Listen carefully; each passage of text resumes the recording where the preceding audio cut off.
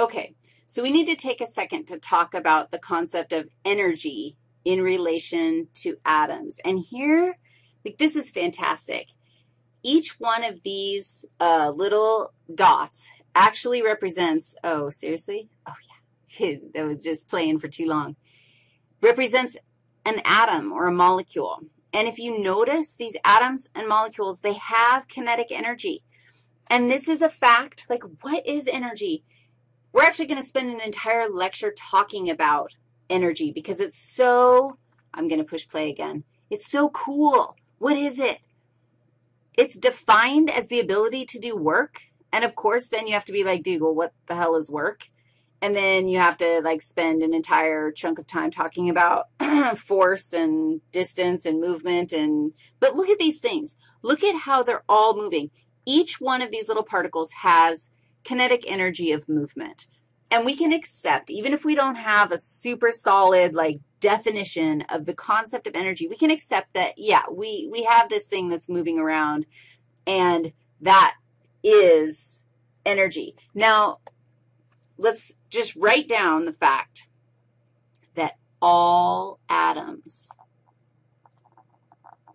and molecules, and this is wild because that means that everything, my pen is full of atoms and molecules, and all of them have kinetic energy.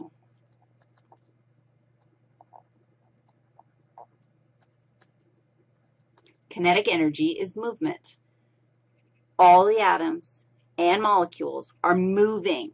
Like, I'm, I, it's not just a silly, like, Riggsism. Seriously, they look like that. No, not like that. Go like that. They all look like that. They're doing that right now. In something that is a solid, the kinetic energy is slightly less. In something that is a gas, like the air you're breathing, the kinetic energy is slightly more the amount of kinetic energy, oops, oops, that's what I wanted. The amount of kinetic energy in some substance can be measured. You're not going to believe this. Kinetic energy is measured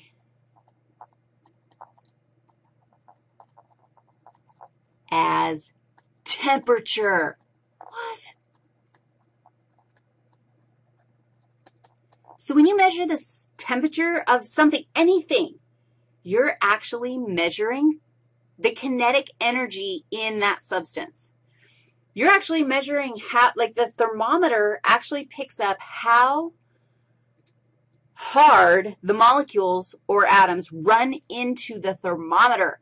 And they transfer a little bit of their kinetic energy into the thermometer, and in the process of doing that, heat up the thermometer.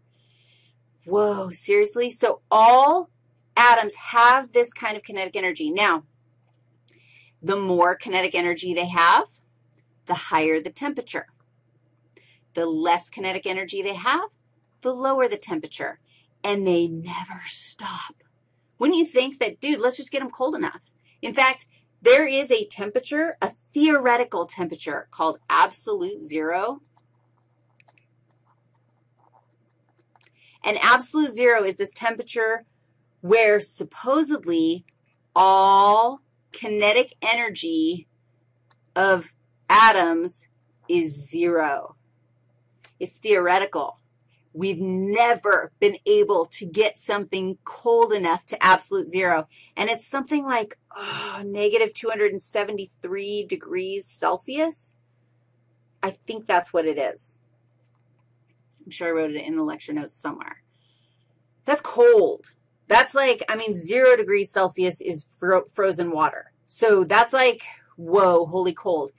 And I just have to tell you a really fast story. Since we've never gotten there, we've gotten like close, like within a degree, but we can't get it cold enough. We can't slow everything down to where it literally, they're not moving anymore. However, there is a critter. Okay, I got to show you a picture of this critter. Oh, it's my little buddy, the water bear. This is a little microscopic critter. I think its scientific name is tardigratus or something like that. And it's found in mosses, and it's microscopic. Like this is an electron micrograph thing of this little critter. So this is, isn't it cute? Look at his little paws. Doesn't it look like a? Don't you want to kind of cuddle it until you look at, these aren't really paws, these are like claws, and these claws let it hang on to the moss. These things are like rock stars of ever, and scientists in their fantastic, like, creativity have decided, dude, let's see, let's see what happens to a, a water bear if we get it close to absolute zero. And so they do. They freeze the little buddy, and they take it all the way down, like close to absolute zero, and then heat it back up again, and guess what? He's still alive. What? If you went down to close to absolute zero, even though you aren't at absolute zero, you, like, good luck, you done. Sorry. We'll be, like, waving to you and having your little funeral and crying and stuff because you're not going to be around anymore. But that guy, he can totally get that cold. Nobody can get down to absolute zero, though. And that was the whole point. Don't forget that all molecules and atoms have kinetic energy. They're constantly moving around, running into things, bouncing off of stuff.